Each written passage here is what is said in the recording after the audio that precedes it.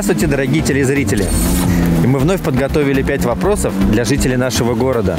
Мы надеемся, что в этот раз на них ответят и наберут заветные 20 баллов для того, чтобы получить вот такой кубок «Видное ТВ».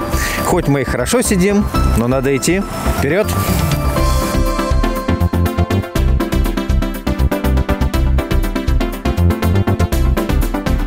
Представьтесь, пожалуйста.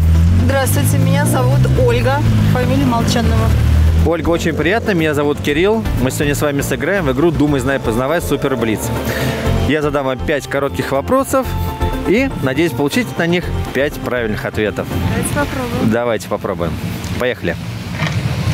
Первый вопрос. Жители Исландии говорят о погоде так. Если вам не нравится погода, подождите 5 минут. Закончите двумя словами эту поговорку исландскую. Знаете, где Исландия находится? Да, там селедка вкусная. Да, да. Ну, трудно вообще ответить двумя словами. Я даже вам подскажу. Скажите. Первое слово.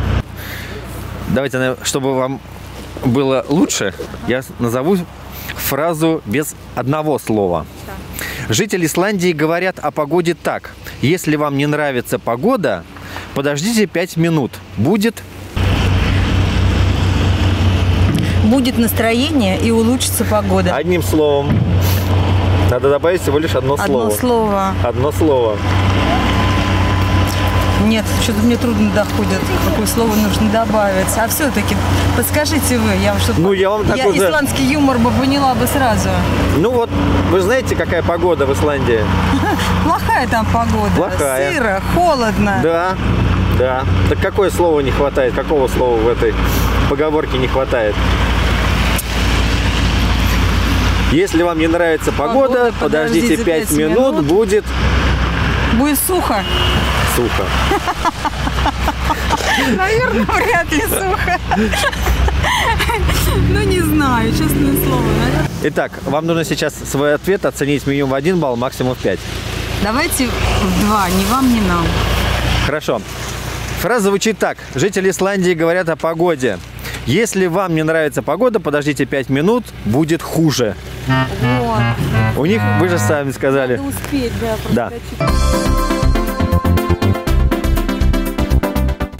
Второй вопрос. Известно, что родной дядя будущего великого композитора с горечью заявлял, какой позор, променял юриспруденцию на дудку. О каком великом русском композиторе идет речь? Нет, не могу. На дудку точно не могу сказать ответ. На ну, дудка это так, это просто, и вот, знаете, Инструмент имеется. современным языком подкалывал его Ага, дядя. троллил. Мол, ты, да, троллил. Мол, ты поменял юриспруденцию. Ему, этому нашему великому композитору, светило стать большим юристом. Вы не про Чайковского говорите? Ну, попробуйте ответить. Ну, я только его могу сказать. А насколько вы уверены? А на пять. Правильно, Петр Ильич Чайковский Вай, э, значит, говорил, Петя, какой позор, променял юриспруденцию на дудку. Тест-вопрос следующий будет. В ходе какого вооруженного конфликта родилась фраза «русские не сдаются»? Во время Крымской войны, Первой мировой или Второй мировой? Я думаю, первой, э, Крымской войны. Крымской войны. Да, все-таки оттуда все началось у нас. Ну. А, вы, а вы на отечественную больше? Не Не, знаю. мне больше крымская все-таки как-то на слуху. Крымская. Да, Понятно. Уверены? М, уверена. Насколько уверены? На 4. На 4 балла. На 4. Правильный ответ – Первая мировая война. Во время Первой мировой войны родилась эта фраза «русские не сдаются». Вы футбол любите? Нет, не могу сказать, что люблю. Ну, смотрите?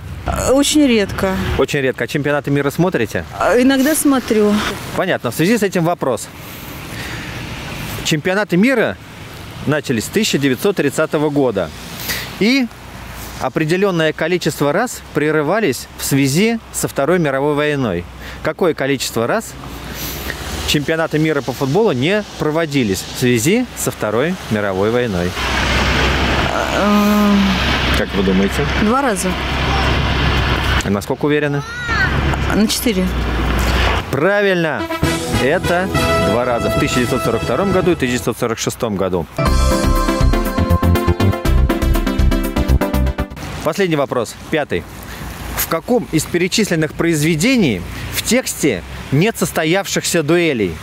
В «Капитанской дочке», «Герой нашего времени», «Отцы и дети» или «Анна Каренина»? Анна Каренина. А насколько уверены? Я быстро думаю. На пять. На 5. Это правильно. Это действительно Анна Каренина. К сожалению, вы набрали, не набрали 20 баллов, но спасибо вам огромное за участие.